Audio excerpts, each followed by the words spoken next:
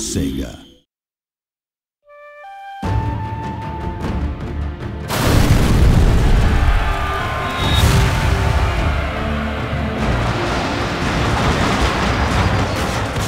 With Boshin, there's a whole new set of units gone into the game, so it creates a completely different style of battle.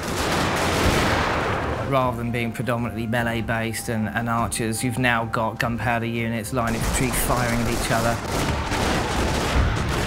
And it really creates a lot of extra nuances and, and techniques and, and uh, strategies for players to play with in the battles. The early information is that actually the, the balance at the moment is really quite good. So uh, it just creates a hell of a lot more depth and interest into uh, all the battles. So, so we're really pleased with how it's going.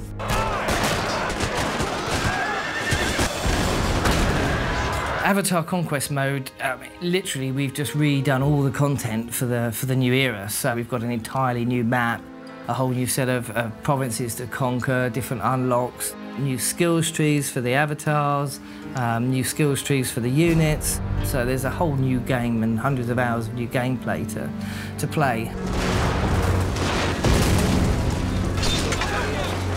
Example, you can now have multiple avatars where you could have um, a Shogun 2 avatar and a Boshin avatar, but they're all feeding into the same system. So there's still one community fighting battles against each other, but you could have a Boshin army up against the Sengoku army, and that just creates all manner of extra depth to the, the army mixes and the kind of battles you're going to fight, which has been proven really you know, interesting and exciting to play.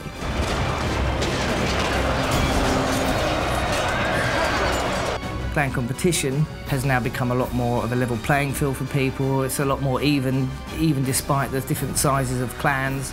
So it's a lot more competitive, and we found that that was, you know, far more compelling for, for the community. So we've been constantly evolving uh, a lot of features and, and UI features as well because we're very heavily driven here by the community and the feedback from the people actually playing the game on the ground and, uh, and listening to everything they're saying, all the kind of features that they would like. We read everything, we really digest everything that's being said by the community. The game's much stronger as a result, so uh, it's worked really well.